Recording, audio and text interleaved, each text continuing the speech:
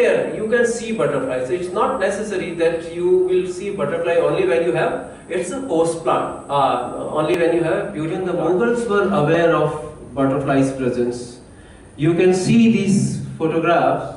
Uh, these are all inscribed. These are the paintings from the Mughal era, and they didn't know the names of the butterflies, but they were very well aware of their relationship with the plants, their relationship with the birds, and uh, you, you can see this uh, common lime uh, uh butterfly and uh, that uh, plain tiger butterfly which were very common. So butterflies can be seen anywhere and is important even for the tiger in Ranthambore or in Kanha National Park because they pollinate a grass which is the main food of cheetal or sambar. We are mostly negligent about these butterflies and these small insects, which 15 to 20 percent are native to our country.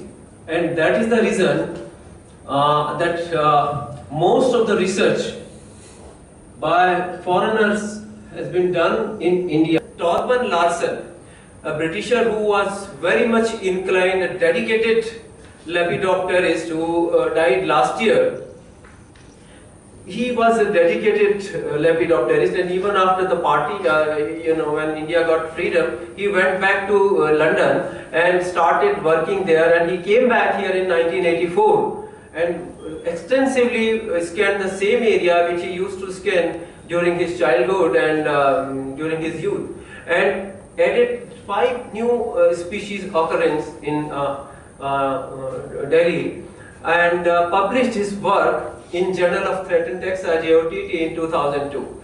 Thereafter for 20 years there was a pin drop silence. Then in 2006 I took up and till now I am doing some work and interestingly I also uh, added six new species uh, uh, of butterflies from, for, from my 8-9 years of work. This is a, a common jay, then uh, we have red Pierrot we have uh, common blue bottle, we have uh, uh, common baron, then uh, we have uh, this Indian tortoise shell and the conjoined swift. So out of these six, only five have established in Delhi and they are breeding now because their host plants are there. This one is an accidental sighting, it's basically a Himalayan butterfly and uh, it was once seen in um, Yamuna Biodiversity Park and once I saw it in JNU. That's it. I focus on the uh, um, reproductive uh, behavior of butterfly and the defense behavior. I tell you one thing that the smaller the size of any creature, the topmost priority becomes to survive. And as Charles Darwin has said, the survival of the fittest.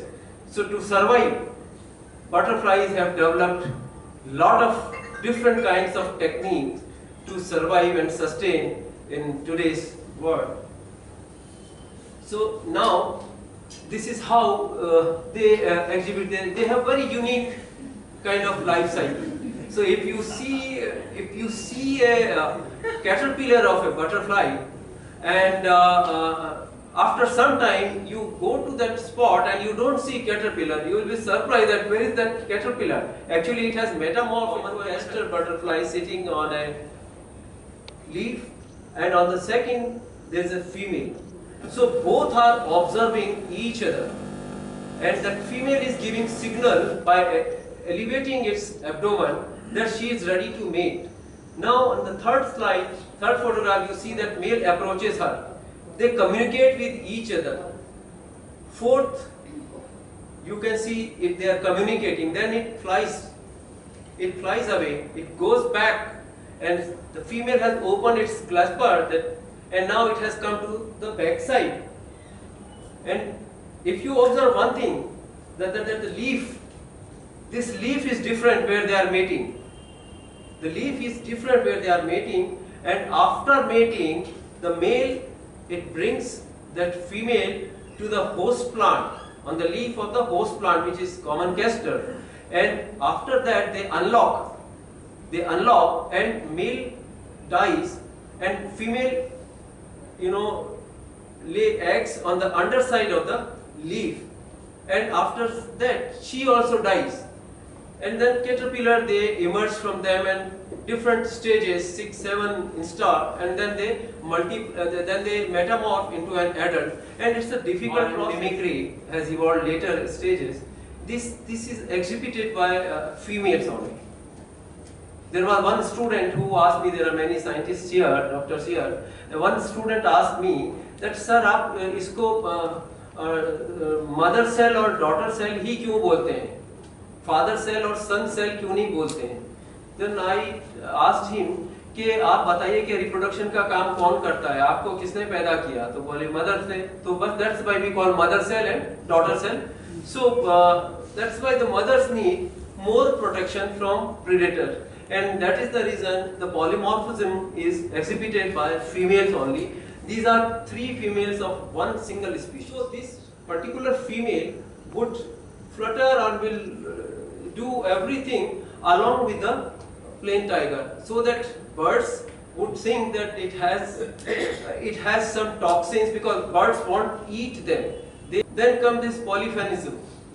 There are many uh, uh, you know butterfly and lepidopterist you know uh, and novice they would say sir मैंने ये butterfly देखा and it is different ये butterfly देखा it is different so I have these number but butterflies exhibit this polyphenism or the seasonal variation like in birds we see that they molt in the breeding season and they develop this uh, breeding plumage. Same is the case with the butterflies. If you this is a single species, this common evening brown exhibiting five different morphs.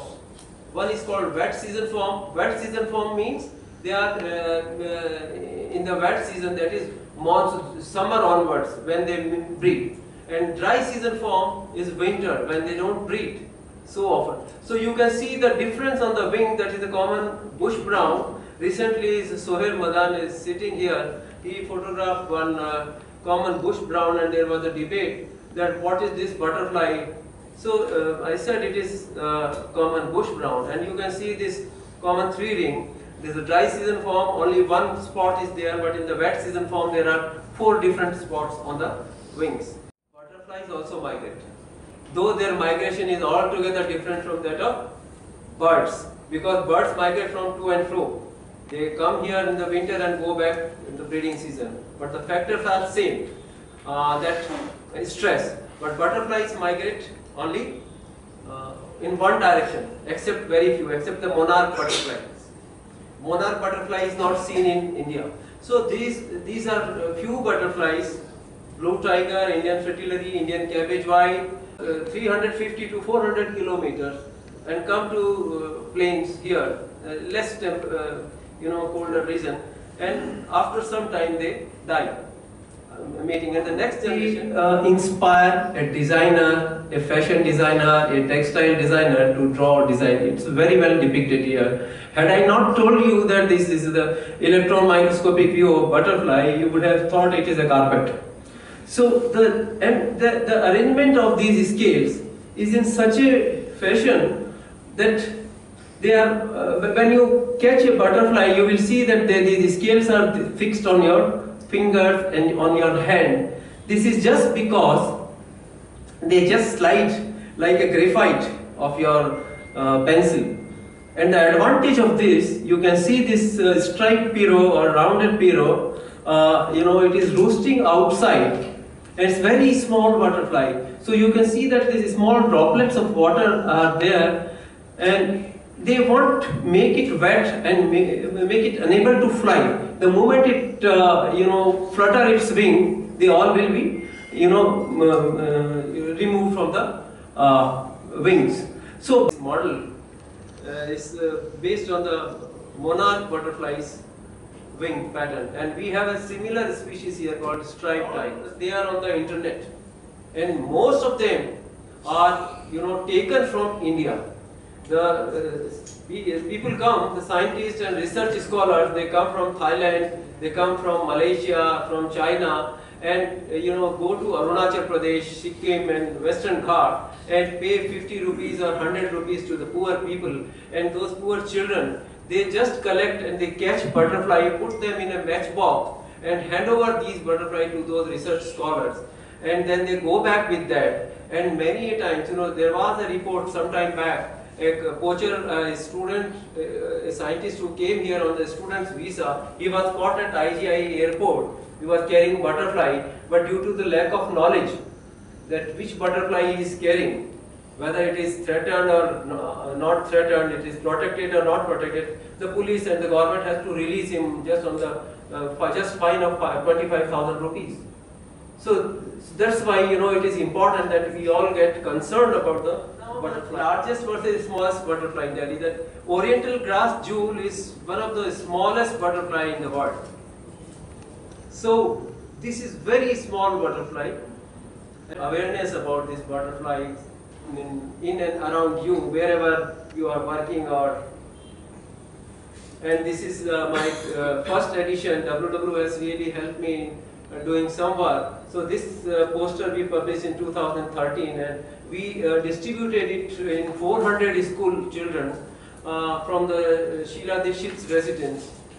And then we did some more work in 2016. Abhishek is sitting here. This is our team who is working on the butterfly, and we released this on the 7th October, uh, and, uh, I mean the Wildlife Week, the second uh, edition, which is there in your hand, the butterfly. This is our team, and you. These are the uh, macro photograph of butterflies and moths wing. You can read all the 26 alphabets, and these are specific to specific, specific species to you know acknowledge that yes this is a particular uh, species this is a particular mate so this is how they differentiate that this is a uh, mate of one particular species